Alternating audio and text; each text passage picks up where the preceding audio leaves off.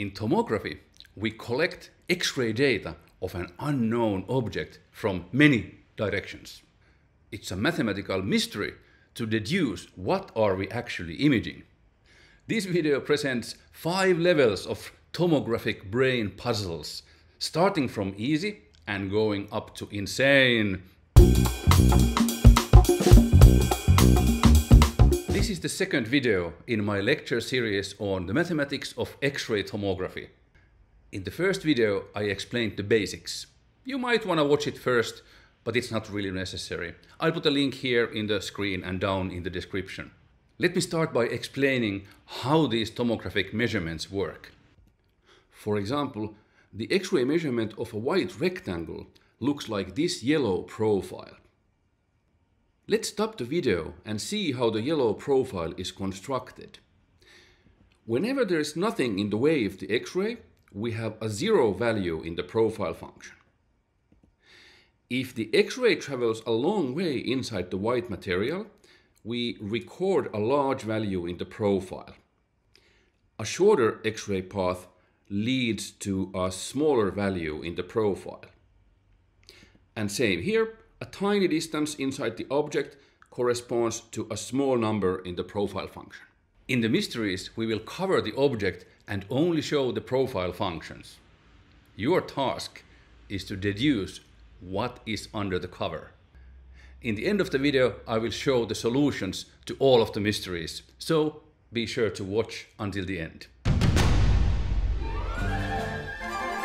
On the top row you see the three measurements, and in the bottom row you see three shapes, whose measurements those are in the top row, but in a random order.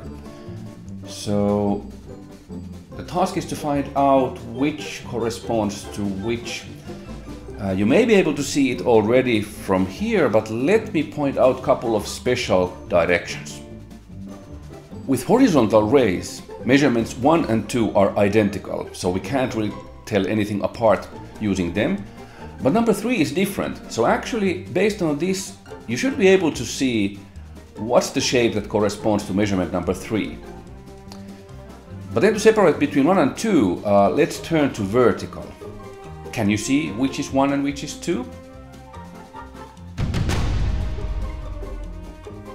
Level 2 mystery concerns Chinese characters.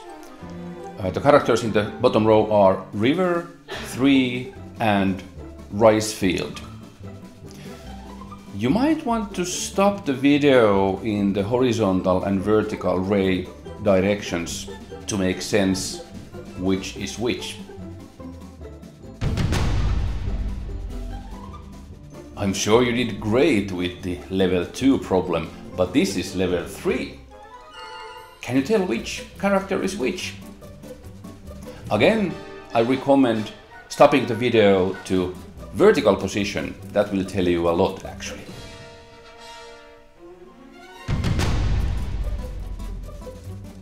Continuing with written characters in level 4, but now not completely black and white uh, shapes.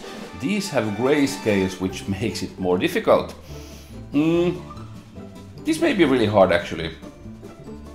Let's see what you get. Tell me in the comments what was your result.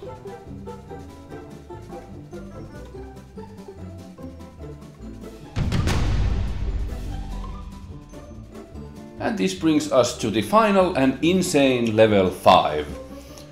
Uh, can you decipher these measurements? Which one is the Spider-Man fan? Which one the Hello Kitty fan? And which one the regular person with no fandom ship whatsoever? Be my guest, may be difficult. Thanks for watching and look out for the next videos in the tomography series.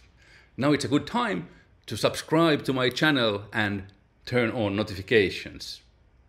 And next, solutions to the mysteries.